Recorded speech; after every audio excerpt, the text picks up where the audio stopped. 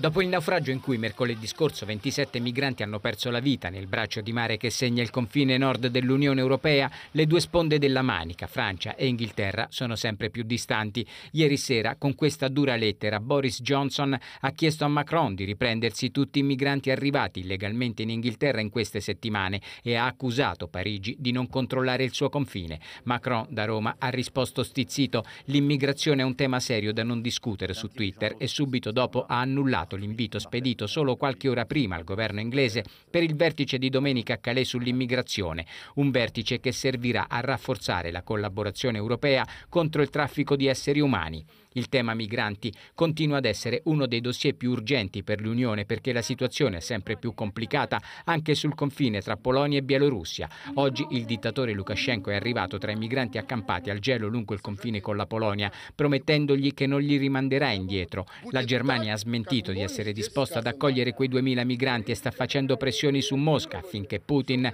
convinca Lukashenko a togliergli dal gelo di quella foresta e rimpatriarli.